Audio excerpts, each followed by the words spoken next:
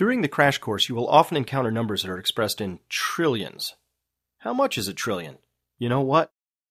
I'm not really sure myself. A trillion is a very big number, and I think it would be worth spending a couple of minutes trying to get our arms around the concept. First, a numerical review. A thousand is a one with three zeros after it. A million is a thousand times bigger than that, and it's a one with six zeros after it. At this level, I can still get my mind around the difference between these two numbers. A million dollars in the bank is a very different concept from a thousand dollars in the bank, and I can really get that. A billion, then, is a thousand times bigger than a million, and it's a one followed by nine zeros. And a trillion is a thousand times bigger than that, and it's a one followed by 12 zeros. So a trillion is a thousand billions, which means it's a million millions. Uh, you know what? I don't know what that means. I can't visualize that. So let's take a different tack on this. Suppose I gave you a thousand dollar bill and said you and a friend had to spend it all in a single evening out in the town. You'd have a pretty good time. Now suppose you had a stack of thousand dollar bills that was four inches in height.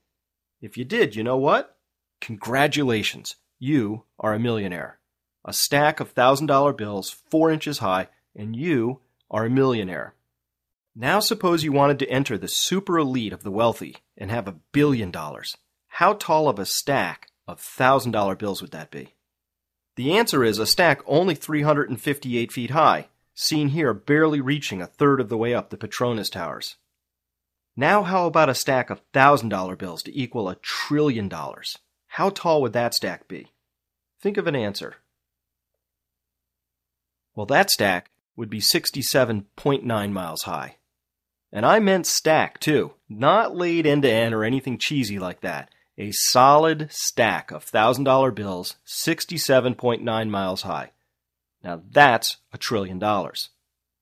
That still doesn't do it for you?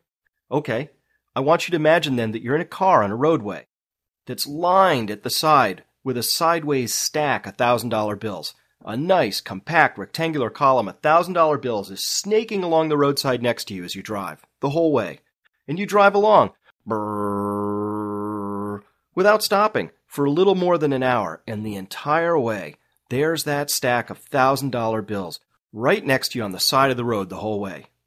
Said another way, the amount of money created in the past four and a half months in our economic system, if it had been printed up as thousand dollar bills and stacked along the side of the road, would stretch from Springfield, Mass. to Albany, New York. So there it is.